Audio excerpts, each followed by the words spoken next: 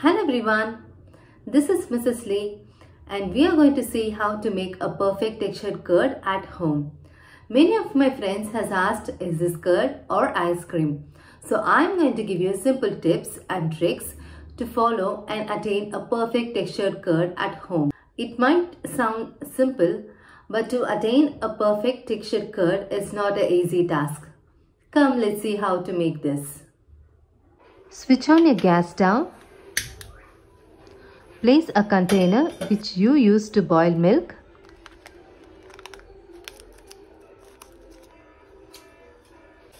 Generally, I don't add water to my milk while boiling because naturally milk contains good amount of water.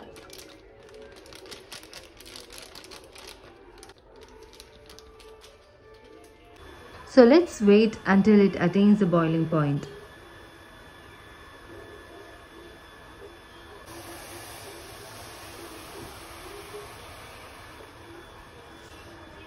Can you see the fatty layer? Bring the milk to lukewarm temperature.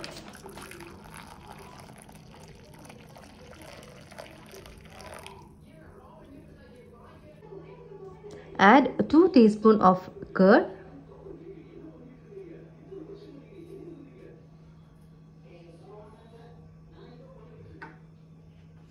And give it a good mix and let it set to 8 to 10 hours in a room temperature.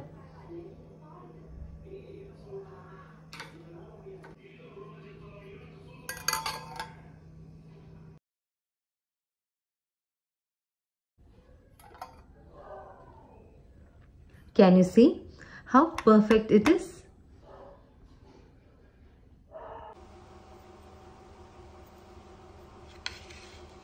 I'll just give you a tip. Uh, if your curd is not set within this time period, add 2 teaspoons of hot milk and let it sit for 2 hours.